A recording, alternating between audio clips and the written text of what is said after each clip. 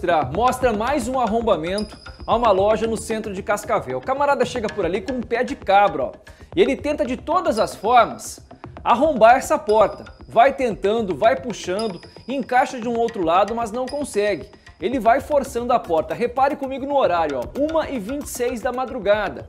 Ele estava ali tentando até que finalmente vai conseguir não mexer na maçaneta, mas sim vai quebrar a porta de vidro, como você vai ver na imagem daqui a pouquinho. Ele vai quebrar essa porta de vidro bem alta e vai ter acesso à loja. Aí sim, ó, e repare, do lado de fora tinha mais um cara, ó, esperando a hora certa para entrar. Essa foi a segunda vez em menos de um mês que a loja foi arrombada.